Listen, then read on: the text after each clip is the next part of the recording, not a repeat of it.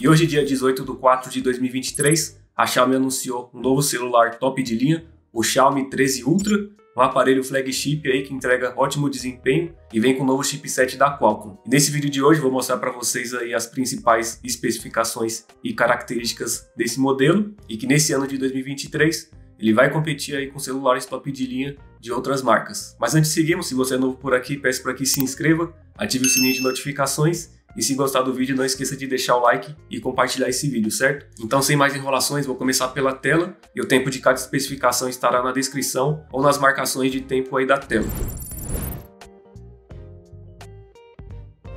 Começando pela tela, ele tem 6.73 polegadas de resolução 2K, que no caso é o Quad HD, com uma taxa de atualização variável que vai até 120 Hz. E a tecnologia da tela é AMOLED. O brilho máximo dessa tela vai até 2600 nits e tem suporte ao HDR10 Plus. Ótimo para assistir filmes e séries que tem suporte a isso, seja no YouTube ou nos aplicativos de streaming. Além disso, na tela conta com um sensor de impressão digital, que também consegue fazer a leitura de batimentos cardíacos. De processador, ele conta com o Snapdragon 8 Gen 2, processador processador mais potente por parte da Qualcomm e que entrega um desempenho top consegue rodar tudo que tem no mercado hoje com ótima qualidade gráfica e sobrando FPS aí, né? E no Antutu Benchmark ele deve marcar por volta aí de 1 milhão e 300 mil pontos, o que é bastante coisa, né? Se um celular que já marca 300 mil pontos já consegue rodar praticamente tudo, é claro, não com a qualidade gráfica no máximo, mas imagine um celular que marca tudo isso, né? E no Geekbench a mesma coisa, marca aí altas pontuações, tanto em teste de um núcleo como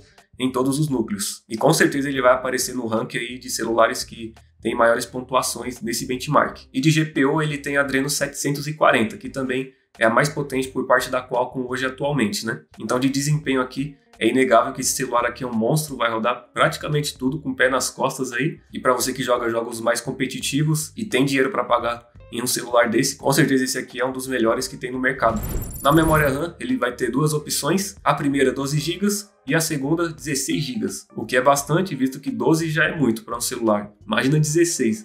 Bom, vai dar para abrir bastante aplicativos, deixar eles em segundo plano, que dificilmente eles vão fechar. E nos jogos, com certeza, não vai ter travamentos por falta de memória RAM. E o tipo de memória dele é o LPDDR5X. Já no armazenamento interno, ele vai ter opções de até 1TB, provavelmente ele vai ter uma versão aí de 256 ou 512 GB. Se eu tiver errado, eu coloco aí na tela as informações corretas lá do site dele, certo? E o tipo de armazenamento dele é o FS 4.0, que é um armazenamento ultra rápido, então a transferência de arquivos e até para carregar os aplicativos, jogos e tudo mais é muito rápido. Então dificilmente esse celular aqui vai travar, porque tem bastante memória RAM, processador é super forte e tem um armazenamento aí ultra rápido. Para conseguir travar isso aqui, somente um bug ou algum jogo aí muito mal otimizado, porque de desempenho bruto aqui com certeza certeza é um dos celulares mais rápidos que temos atualmente aí. E no sistema, como ele é um celular recente, então ele vem com o último Android, que é o Android 13, e MIUI 14 de ROM. E com certeza ele vai receber o Android 14 e o Android 15 e pelo menos aí mais três versões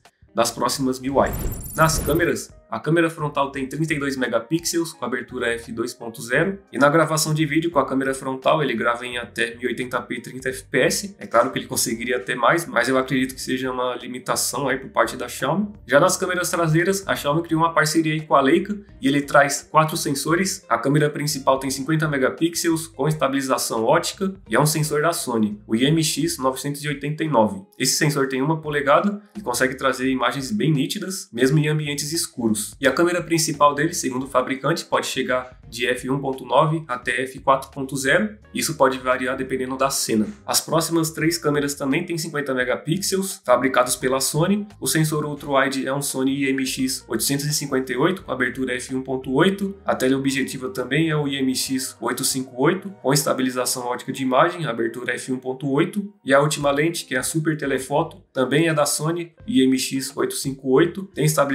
ótica de imagem com abertura de f3.0. Já na câmera traseira ele grava em até 8K 24 fps ou 4K 60 fps, além também de ter estabilização eletrônica de imagem, suporte ao Dolby Vision e também ao HDR 10 bit. Então sobre captura de vídeo aqui, só vendo essas tecnologias, com certeza ele grava em ótima qualidade e chega muito próximo aí, se duvidar, em câmeras aí profissionais focadas somente em gravação de vídeo ou em fotografias. De conectividade e rede, ele é bem completo, tem as principais tecnologias mais recentes, o Wi-Fi dele é dual band, a BGNAC e Wi-Fi 6E, então ele tem suporte a redes de 2.4, 5 e 6 GHz de ultra velocidade. Então ele consegue aguentar velocidades ultra rápidas aí de redes Wi-Fi. A versão do Bluetooth dele é a 5.3. Ele tem suporte ao NFC para fazer pagamentos ou transferir arquivos por aproximação. E nas redes móveis tem suporte ao 2G, 3G, 4G e 5G. E a entrada USB dele é a versão 3.2, então suporta velocidades de transferências aí por meio do USB ultra rápidas. Sobre o áudio, como esperado, né? É um celular top de linha. Ele tem aí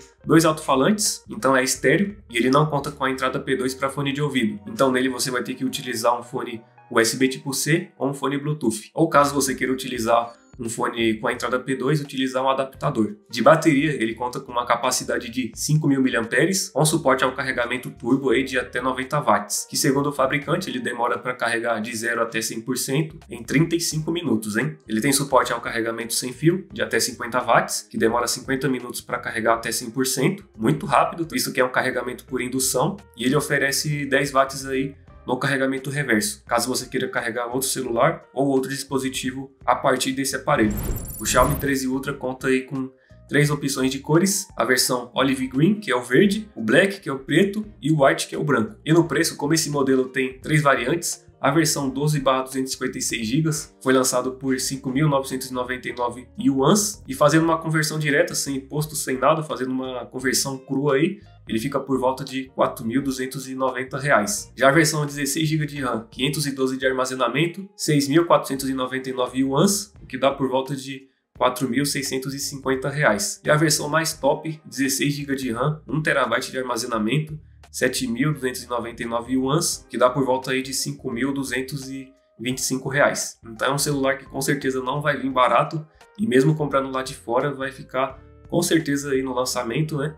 Acima de 3 mil, 4 mil reais. Sobre a construção, o Xiaomi 13 Ultra, na parte frontal é feito de vidro, com proteção Gorilla Glass Victus, na parte traseira tem um material que imita o couro, e as laterais são feitas de alumínio. E ele tem proteção IP68 contra água e poeira. E na água ele aguenta até 1.5 metros por 30 minutos. Então é isso, mostrei aqui as principais especificações desse novo lançamento aí da Xiaomi, o Xiaomi 13 Ultra. Minha opinião é que é um celular muito top em todas as especificações, mas é claro, tem seu preço, né? Se fazendo uma conversão direta, ele já fica acima de 4 mil reais. A versão inicial, se ele vier para o Brasil, ele vai custar por volta de uns 7, 8 mil reais no lançamento, né? Pode até cair depois de preço, mas como é um celular top de linha, eu duvido muito que ele deva ficar abaixo de 4 mil reais. Mas enfim, para quem quer um celular top de linha e pode pagar por isso, é um celular muito top mesmo. Mas enfim, comente aqui abaixo o que você achou desse celular o que espera dele, se vai cair de preço ou não. Eu particularmente acho que não, mas deixe aqui a sua opinião nos comentários. E é isso, chegamos aqui ao fim, espero que tenha gostado. Se gostou, deixa o like, se inscreva no canal, ative o sininho de notificações para mais novidades. Sempre que tiver um celular novo lançado de marcas aí mais conhecidas, eu vou lançar um vídeo aqui no YouTube com as principais especificações. Então, se você não quiser perder, se inscreva e ative o sininho, certo? Eu vou deixar aqui na descrição ou no primeiro comentário fixado o link aí do meu grupo do Telegram de oferta de celulares e promoções e também vou deixar no comentário aí fixado a página oficial do Xiaomi 13 Ultra, caso você queira ver mais detalhes por lá. E é isso, obrigado para você que chegou até aqui e falou!